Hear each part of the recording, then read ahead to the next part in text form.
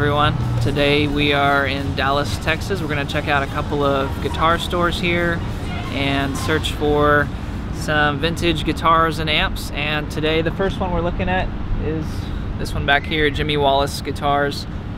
Uh, there's a couple of strats that I want to check out, so we'll see what it's about.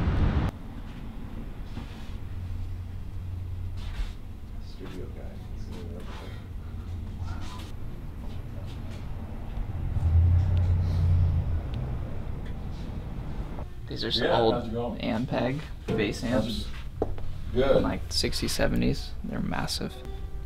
395 bucks. We're still close.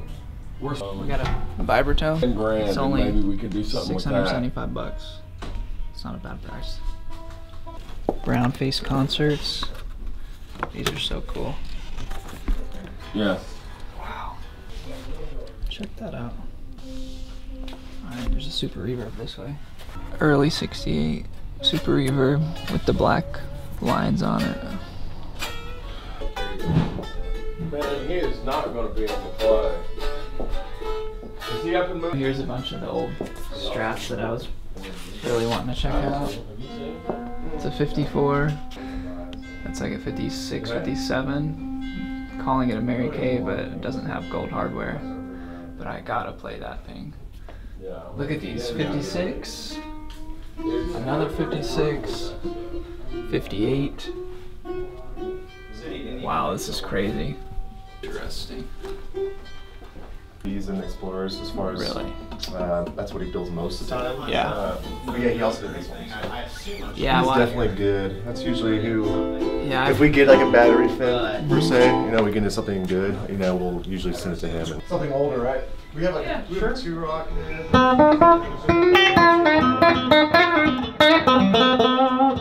So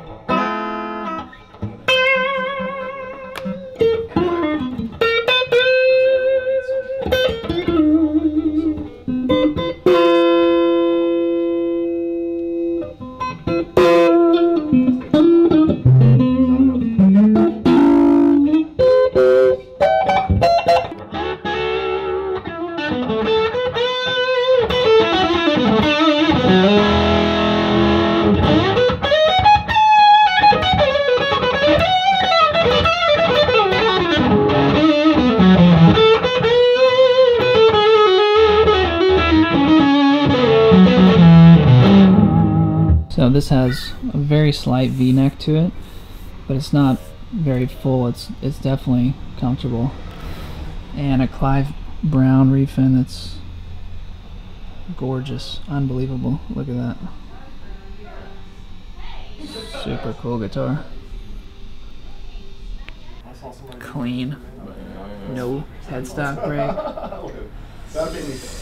Very expensive guitar. I think it's approaching 30k. But this is the whole Clapton thing. Give her a go.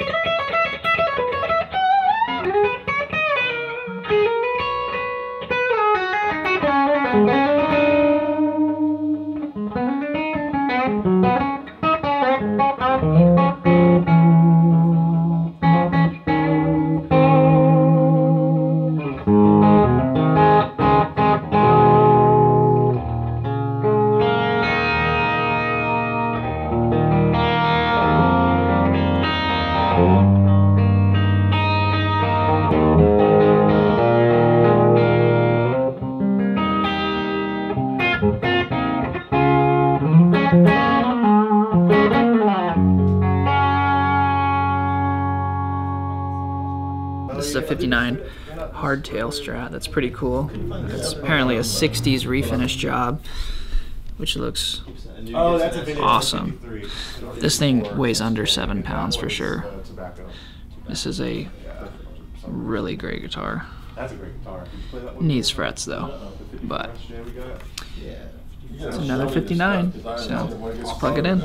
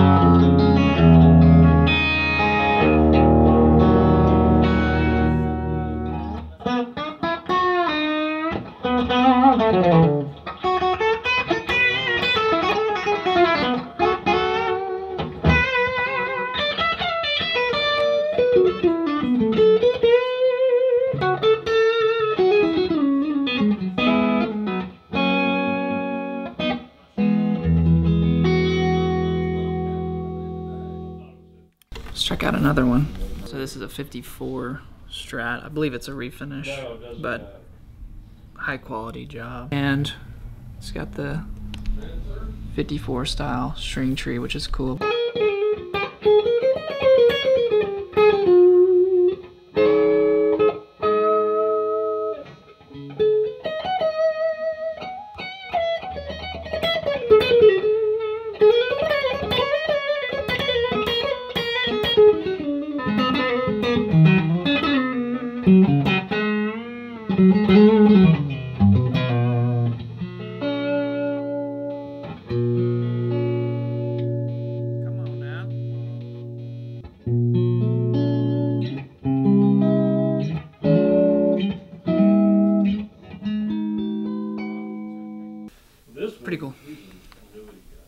This is a 58 Junior, the broken headstock, but uh, original finish on the body. And this is the lightest Junior I have ever picked up. I think it might weigh, I don't know, six pounds or less. It is incredibly light. And these things are really great guitars for the money, so let's check it out.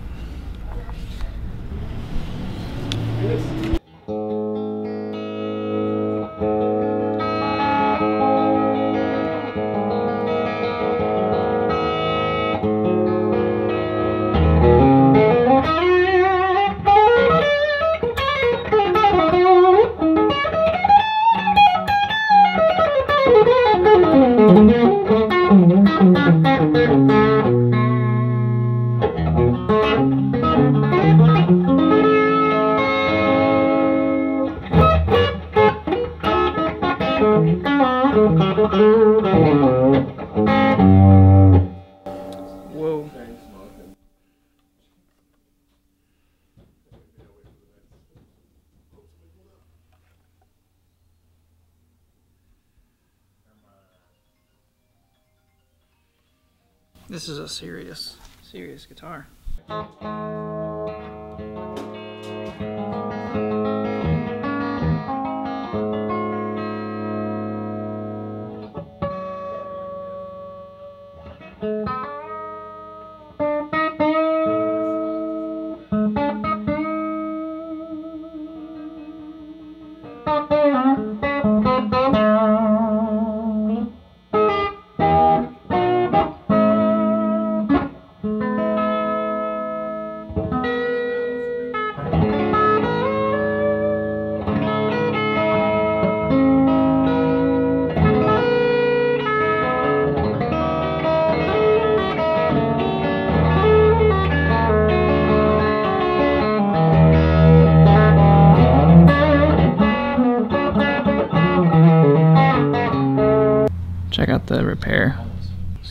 To do it though. Favorite Has a serial number still there.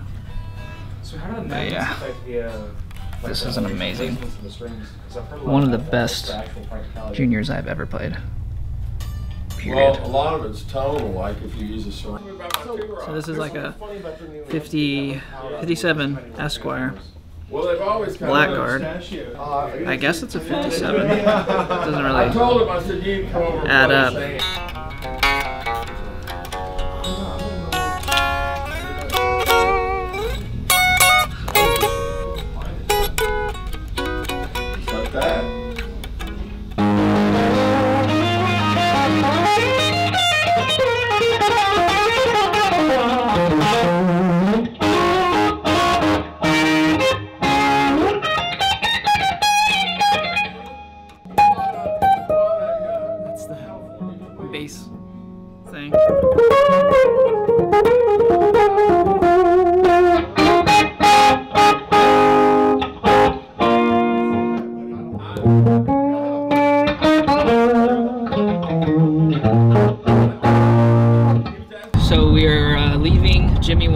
Guitars, and I have to say that uh, was a very impressive collection of vintage guitars and amps, and all the guys there were super nice. So right now we're headed to Killer Vintage Guitars. This is the other vintage guitar store in Dallas I wanted to check out. So we're headed that way.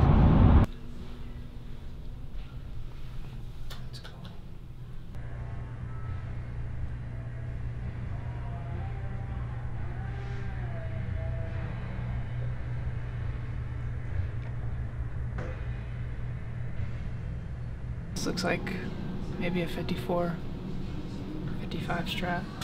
Let's see. 55. Hardtail.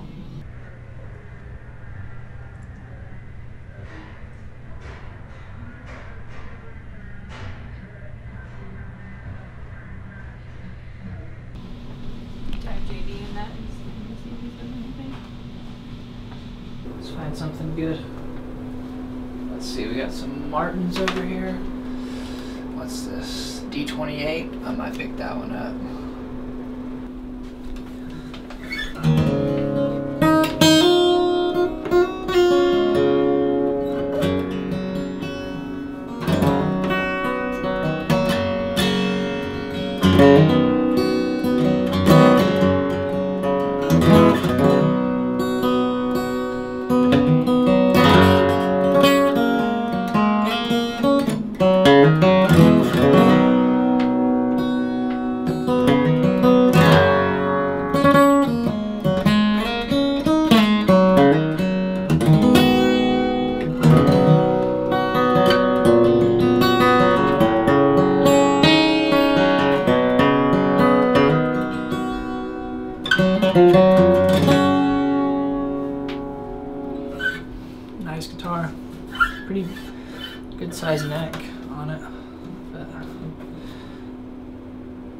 Cool.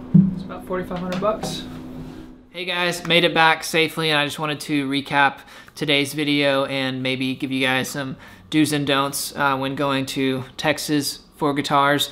But Jimmy Wallace Guitars was absolutely incredible and everyone there was, was very, very nice and uh, especially Andrew, shout out to him.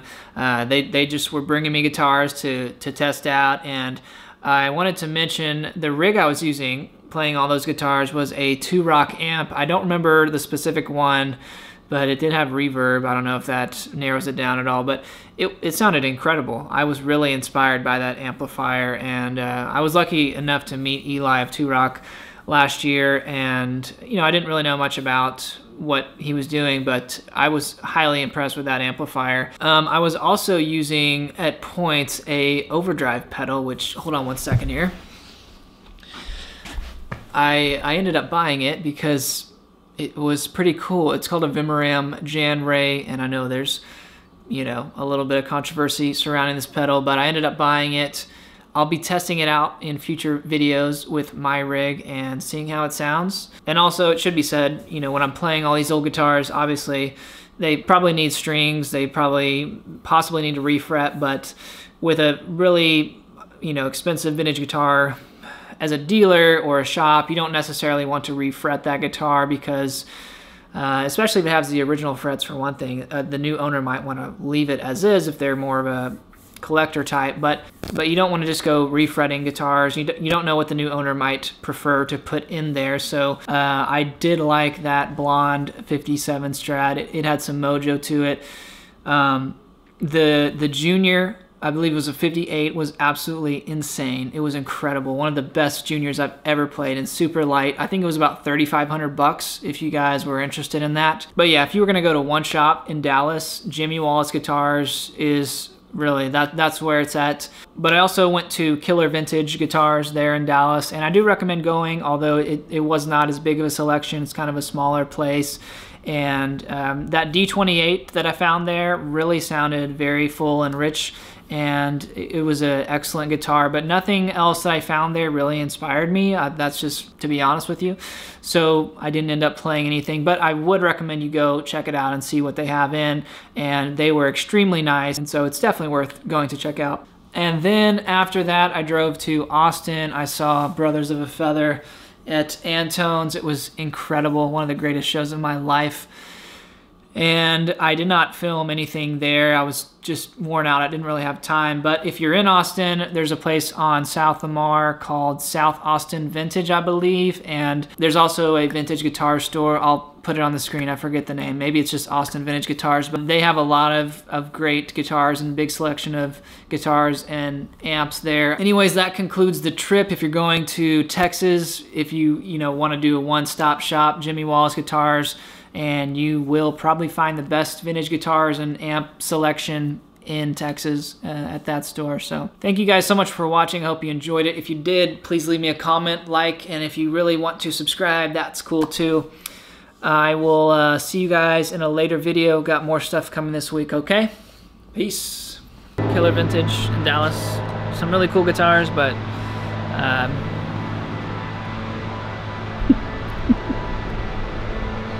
I don't know what to say.